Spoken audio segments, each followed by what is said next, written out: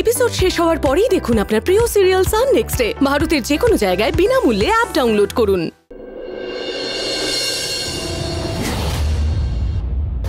মা?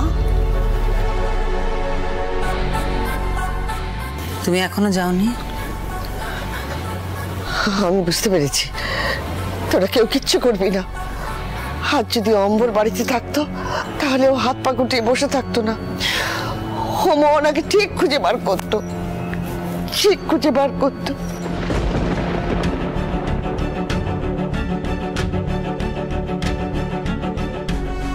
বেটা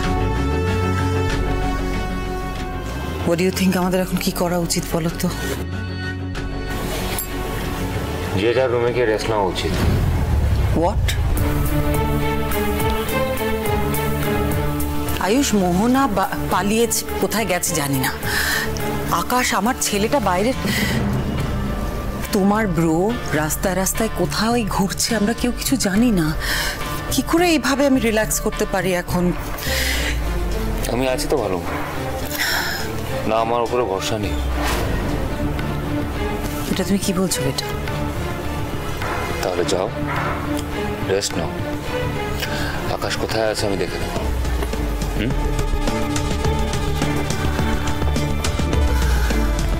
aunty don't worry আমি আছি তো।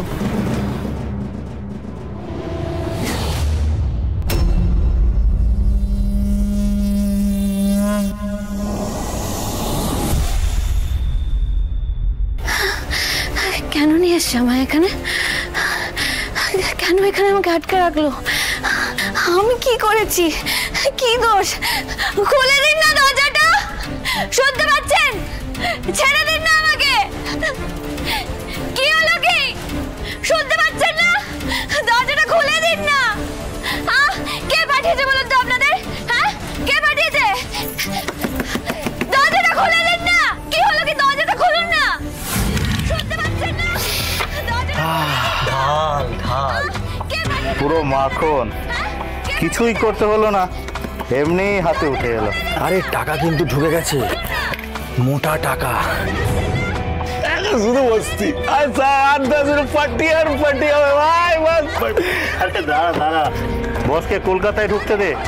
বাকি টাকাটা নিতে হবে না।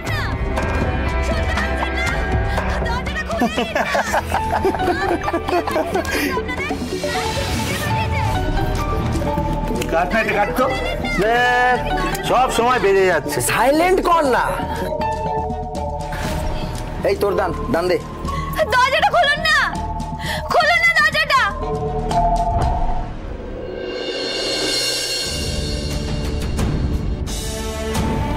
কি গো? তুমি এরকম এটা তৃপ্তি করে হাসি মুখে খাচ্ছ?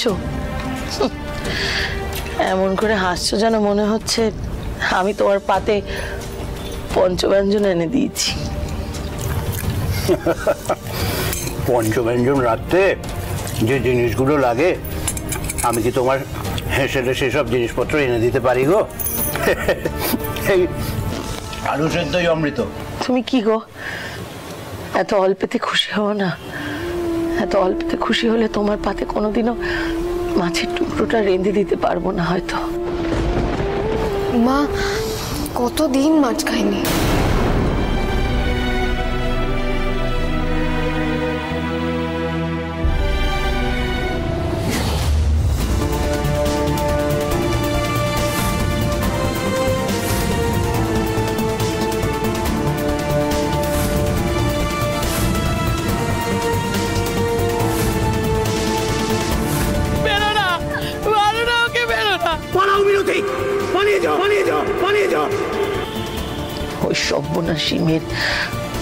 কোনোদিন ভালো হবে না।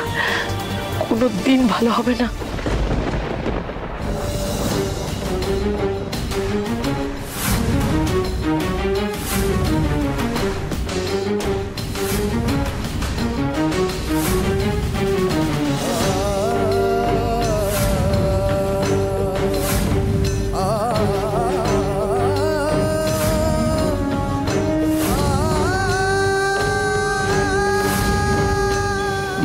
ভাত না খাওয়ানোর অক্ষমতাটা তো তোর বাপের। ওই মেয়েটাকে সাপান্ত করে কি হবে? ওকে তুমি ভুলে যাও মিনি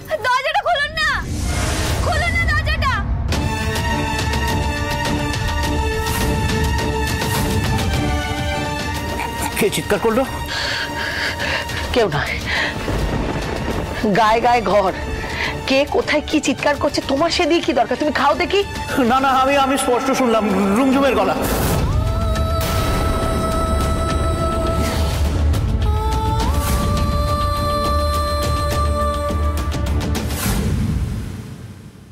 খুলুন আরে তুলে আনাটাই সহজ ছিল। এখন চুপ করে রাখাই কঠিন হয়ে আসছে। আরে এত ধমকালাম চমকালাম কিছুতেই কিছু হলো না। সব সময় কিচির কিচির কিচির করেই যাচ্ছে। একে আমি খুলুন না দরজাটা। কি হলো কি? খুলুন। কেন এখানে নিয়ে এসেছেন কি হয়েছে কি হ্যাঁ? এত চিৎকার কিসের? এত ভালোভাবে কথা বলছি মাথায় ঢুকছে না। যত ভাবি ঝামেলা করব না করব না এ তত বেশি ঝামেলা করছে। এবার কিন্তু খুব খারাপ হয়ে যাবে বললাম। কেন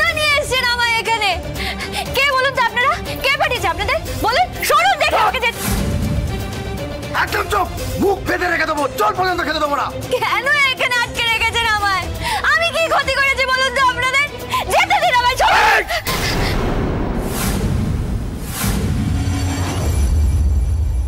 না না আমি আমি স্পষ্ট শুনলাম রুমঝুমের গলা। এখন কি খেতে বসে স্বপ্ন দেখতে শুরু করেছ নাকি? আমি একটা কথা বলে দিলাম। ওই অপয়া মেয়ের নাম কিন্তু তুমি আর মুখে আনবে না। খাচ্ছ খাও না। এই এই তোরা চুপ করে বসে আছিস কেন? খা। তুমি শুনলে না চিৎকারটা? কিরে? তোরা শুনলি না? তোদের দিদির গলার আওয়াজ তো? একদম একদম একরকম এই তো চুপ কর। সানায় শুরু হয়ে গেল। খা। খাওয়া শুরু কর খা। খাওয়া শুরু কর। দুনিয়ার সব মেয়ের চিৎকার তোমার রুমঝুমের গলা বলে মনে হয় তাই না? ওই আদরের ভাগ্নির কথা মাথা থেকে বের করতে পারছ না। কেন চুপ করে আছিস কেন? খা না। কেন বুঝে না বোঝার ভান করছ মিনতি? আমি তো আমি তো স্পষ্ট শুনলাম রুমঝুমের গলা রুমঝুমের চিৎকার। আরে বাবা মেয়েটা তো এখানেই আছে এই শহরেই। এই শহরে কোথায় কি অবস্থায় আছে আমরা তো সেটা জানি না। কেন বিপদের মধ্যে নিজেকে ফেলছো? তোমার দুটো মেয়ে আছে তাদের রক্ষে করতে হবে তো।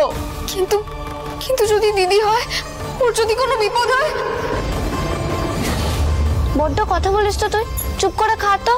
মা কি বলছে শোন। কি হলো? এখনও চুপ করে বসে আছো কেন? খাও। আচ্ছা তোমার তো দুটো মেয়ে আছে। এত বড় বড় মেয়ে তাদের কথা তো ভাবতে হবে। খাও না দয়া করে। কি হলো? আমার খেতে ইচ্ছে করছে না। খেতে ইচ্ছে করছে না? সারাদিন হাড় ভাঙা ঘাটুনি খেটে এসে যখন বললে খিদে পেয়েছে সেটা শুনেই সঙ্গে সঙ্গে রাস্তায় শেয়াল কুকুরের ভয় এড়িয়ে দুমুটো চাল নিয়ে এলাম। আর এখন বলছো খিদে নেই? ওই অপয়া মেয়েটার কথা শুনে তোমার মাথা থেকে খিদে উড়ে গেল তাই তো? এরকমই হয় এরকমই হয়। আমি বলেছিলাম না আমি যা বলেছিলাম ওই মেয়েটার সম্পর্কে ঠিক বলেছিলাম।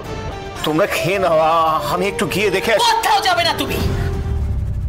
পাত ছেড়ে উঠবে না তুমি। কেউ কোথাও যাবে না কোথাও যাবে না। কেউ কোথাও এই বাড়ি থেকে এক পাও নড়বে না।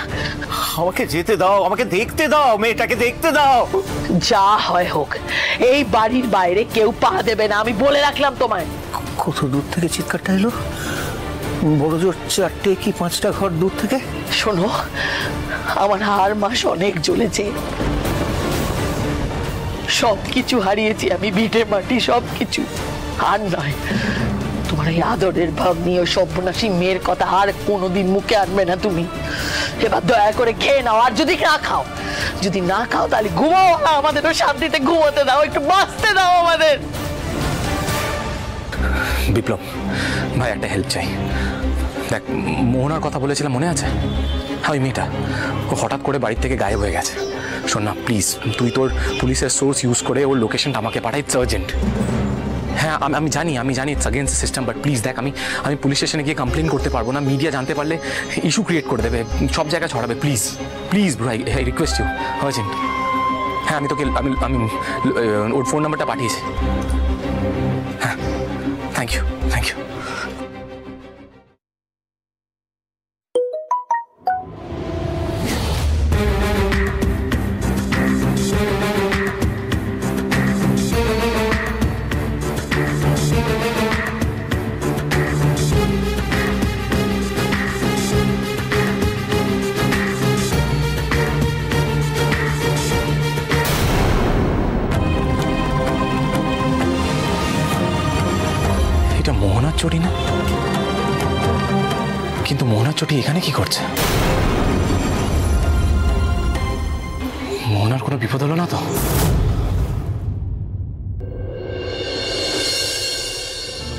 কাছে হিসেব আছে বালির কত ভুল।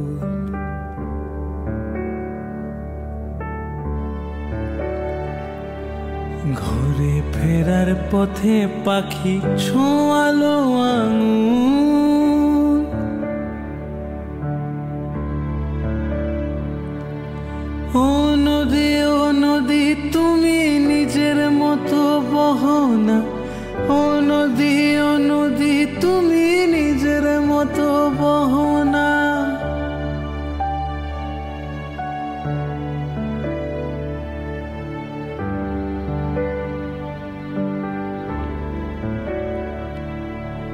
ঝড়ের কাছে হিসেব আছে আলের ধারে মন।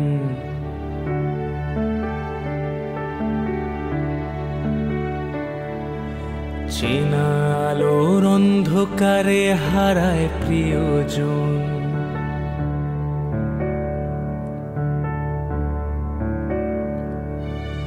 ও নদী ও নদী, তুমি নিজের মতো বহনা তোর কপালে রাত নেমেছে মেঘ বালিকার গহনা।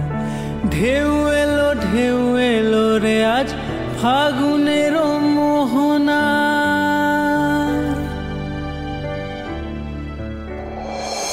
মোহনা কোথায় দিতে মোহনা হাসছে বলে বেরিয়ে গেল।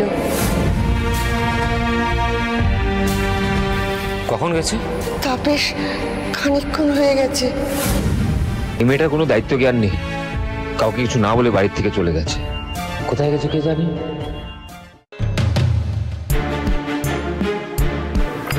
রিল্যাক্স আয়ুষ। তোমার এত টেন্সড কেন লাগছে?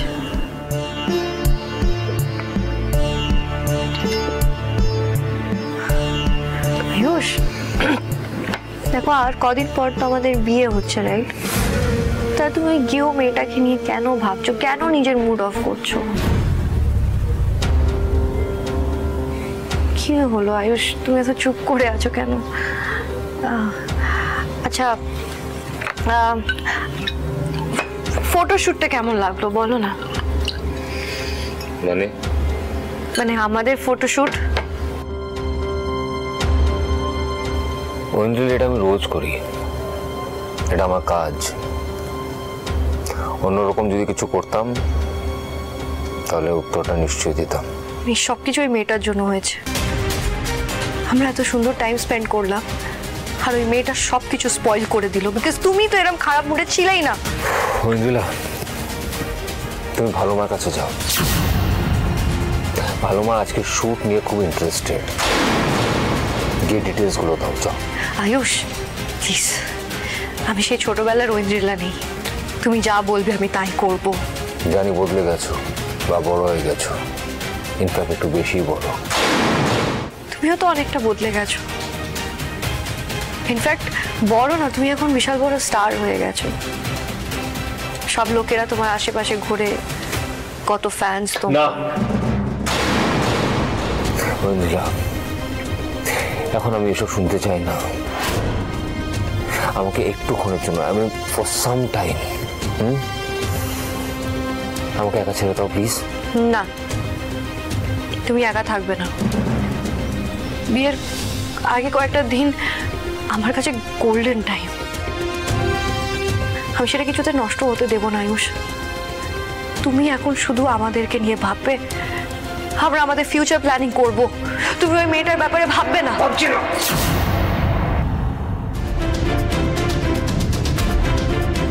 আমি ভাবছি না ঐন্দ্রিলা ওর জন্য আমার ভাই এই রাতে বাড়ি থেকে বেরিয়েছে। আমি আমার ভাইয়ের জন্য ভাবছি। বিগ্র নিশ্চয়ই টেনশন করছে। ওপর থেকে যতটাই শক্ত, ভেতর থেকে ততটাই নরম। সবাই ওকে ভুল বোঝে।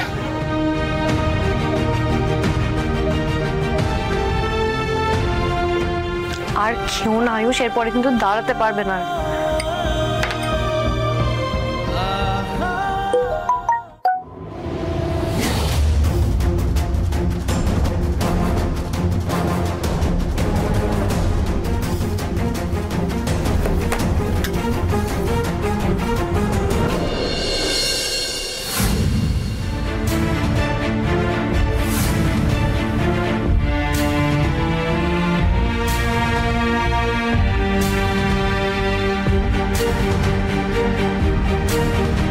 বাবা ঠিকই বলছিল। তখন গলাটা দিদির মতোই। আর দিদি নাই বা হলো। দিদির মতো তো কেউ। এত রাতে বিপদে না পড়লে কেউ চিৎকার করে?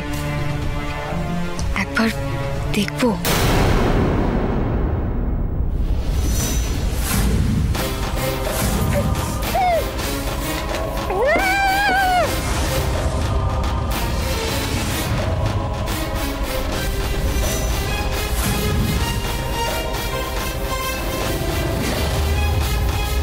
এখানে তো এত লোক থাকে না।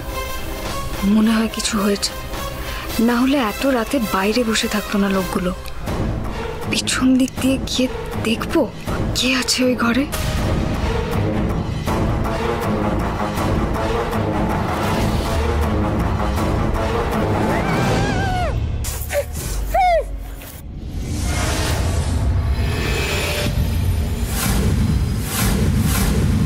কি দেখছ তুমি?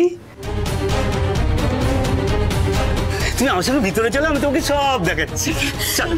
না আমি আমি কোথাও যাব না আমি কিচ্ছু দেখব না। ছেড়ে দিন।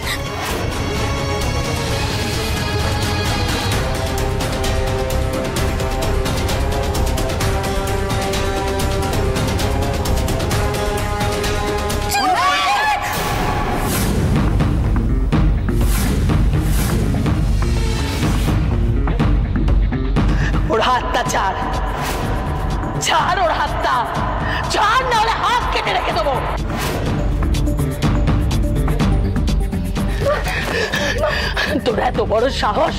তুই আমার মেয়ের গায়ে হাত তুলেছিস। বেশি বাড়াবাড়ি করলে দু হাত কেটে রেখে দেবো।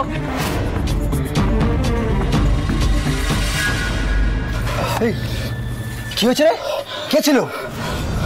এই এগুলো কি হচ্ছে হ্যাঁ? তুই তো বলেছিলি জায়গাটা সেফ এ তো দেখছি রাতের অন্ধকারে লোকজন ঘুরে বেড়াচ্ছে। শোন বাইরে থাকা ঠিক না। ভিতরে গিয়ে বসি চল। চল চল ভিতরে চল। চল চল। আমার কথাটা শোনো। ভিতরে সত্যি কেউ একটা আছে আমি মেয়েটার আওয়াজ শুনে কোনো কথা শুনতে চাই না। তুই চল তাড়াতাড়ি। না না কেউ নেই মা মেয়েটা বড় একটা সর্বনাশ হয়ে যাবে চুপ বেশি মারামারি করলে আমাদের সর্বনাশ হবে। চল চল তুই।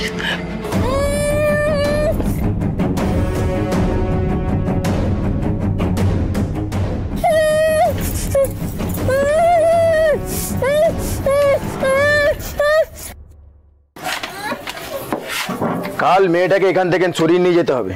এখানে বেশিক্ষণ রাখাটা ঠিক হবে না। লোকজন চৌকান্না হয়ে যাবে। একবার বসের সাথে কথা বলতে হবে। আজ ভোরের মধ্যেই একে শিফট করিয়ে ফেলতে হবে। বসতে কিন্তু খুব গেঞ্জি। এখানে অনেক লোকজন।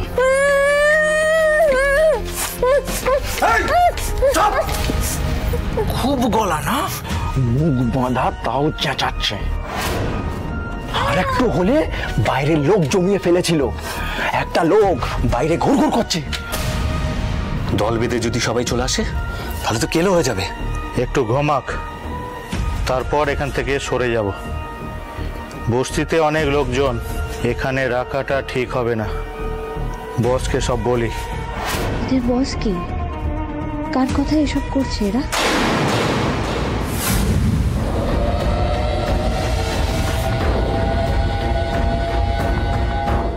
লোকেশন তো এখানেই দেখাচ্ছে। কিন্তু মোহনা এখানে কি করছে?